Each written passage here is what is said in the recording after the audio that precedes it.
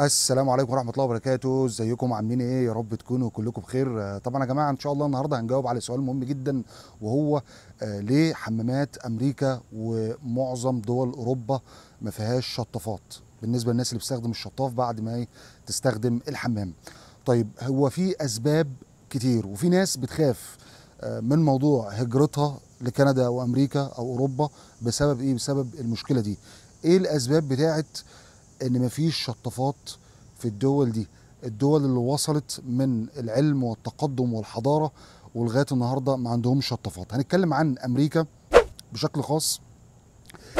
ما بيستخدموش الشطافات آه، لما تيجي تسأل الأمريكان آه، يقول لك لأنه إحنا امتداد للإنجليز والإنجليز كانت العلاقة ما بينهم وما بين آه، الفرنسيين كانت مش ولا بد شوية والفرنسيين كانوا بيستخدموا الشطافات في خلال ال 400 سنة آه، اللي فاتوا. يمكن هم ثلاث أو أربع دول بس اللي في أوروبا كلها اللي بيستخدموا آه، الشطافات. هي فرنسا وأسبانيا وإيطاليا وأعتقد البرتغال.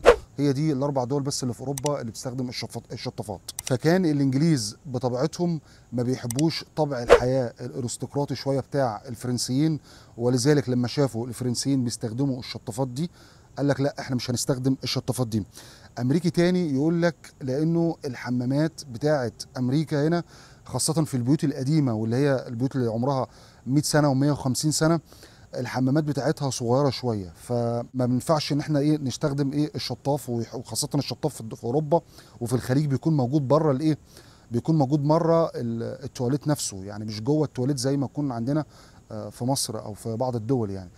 فيقول لك لا لأنه الحمام إيه؟ حجمه آه، صغير. وده برضو مبرر ضعيف الصراحة وكده. في برضو واحد تالت يقول لك إيه؟ يقول لك أصله ال- المية بتنقل الجراثيم وبتخلي الجراثيم تنتشر في إيه؟ في الجو وكده عكس استخدام المناديل بتكون الجراثيم بتثبت إيه؟ آه، في مكانها وما تتطيرش ما تتطيرش في آه، الهواء. برضو ده سبب برضو واهي شوية. سبب رابع كان برضو آه، واحد قاله لي قال لك لأنه كان في فرنسا كان موجود الشطافات دي موجودة في بيوت الدعارة. فعلى هذا الأساس الأمريكان إيه آه، قرفوا منها وقال لك لا ما ينفعش تبقى موجودة في بيوتها. هي كلها أسباب الصراحة آه، وهي ولكن لما تيجي تسأل أمريكي عاقل يقول لك أنا مش عارف ليه ما فيش شطافات. يعني هو لما تيجي حتى تشرح له الاختراع ده ويجربه لو حد زارك أو جالك أو يعني كان ضيف عندك في بيتك أو كده ويجرب الاختراع ده بيحبه جدا جدا وبيسألك جبته منين طب أركبه إزاي طب أجيب سباك يركبه طب أوصله إزاي على المية كده لأن هم لما بيجربوه بيحبوه جدا. أنا بعتقد من وجهة نظري الشخصية السبب في عدم وجود آه، شطافات في أمريكا هو صناعة المناديل أو المحارب زي ما بيقولوها في دول دول الشام بيقولوا على المناديل المحارم أو الأوراق أو زي ما يكون. آه، السبب ده هو سبب صناعة المناديل هنا في أمريكا. التيشو آه، في أمريكا هنا اختراع الأوراق أو المناديل كان سنة 1855 آه، كان بيتباع ال 500 منديل ب 60 سنت وده رقم كبير جدا جدا وقتها بتتكلم في 170 سنة ده رقم ضخم جدا جدا.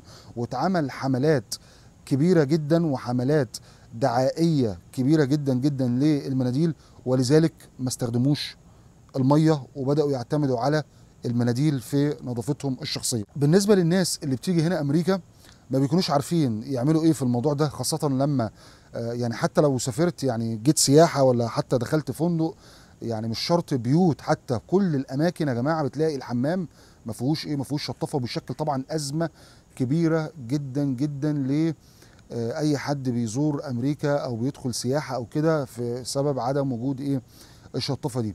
طبعا بالنسبة للناس المستقرة هنا بنشتري حاجة من على الأمازون هنا بتعمل لها في حدود 30 دولار ده لو ما فيهاش سخن وساقع.